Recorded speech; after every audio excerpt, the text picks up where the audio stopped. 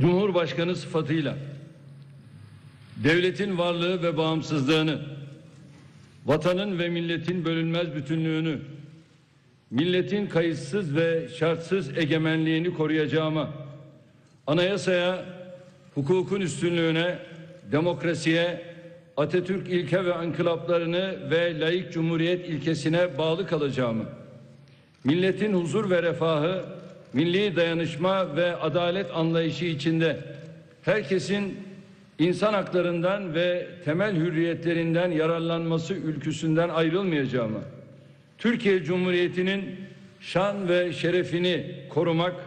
yüceltmek ve üzerime aldığım görevi tarafsızlıkla yerine getirmek için bütün gücümle çalışacağıma büyük Türk milleti ve tarih huzurunda namusum ve şerefim üzerine and içerim.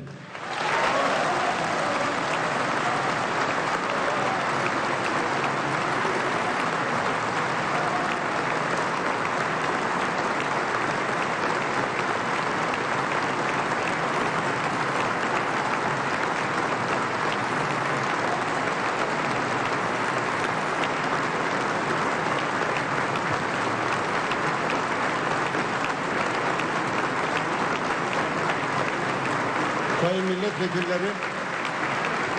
şimdi İstiklal Marşımızı icra olunacak.